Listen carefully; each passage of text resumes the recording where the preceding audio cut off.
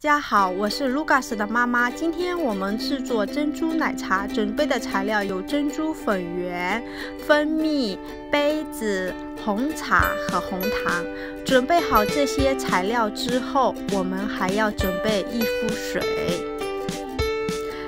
在水烧开之后，我们把我们之前已经准备好的珍珠粉圆倒进去。我是用这个牌子的珍珠粉圆，粉圆在水中慢慢烧开就会浮上水面，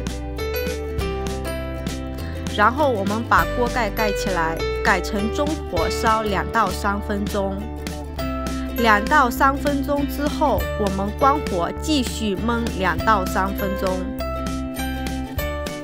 在三分钟之后，我们打开锅盖，珍珠就做好啦。珍珠冲倒出来，冲水冲十秒钟，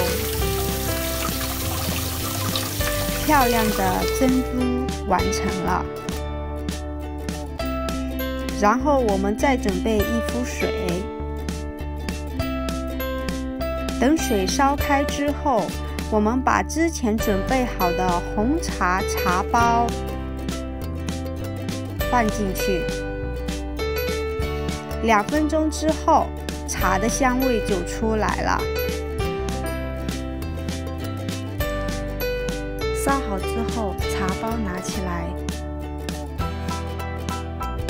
扔掉，新鲜的全脂牛奶倒进去。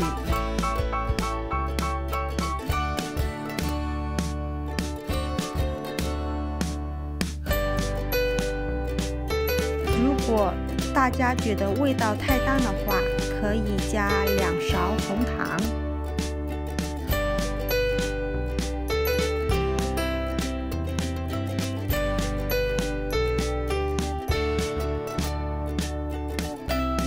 我们把之前已经做好的珍珠粉圆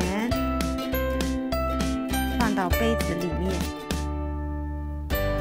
喜欢吃珍珠的同学可以多放一点。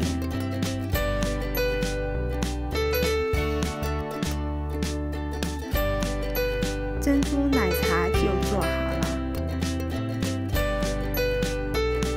美味的下午茶时间，谢谢大家收看，再见。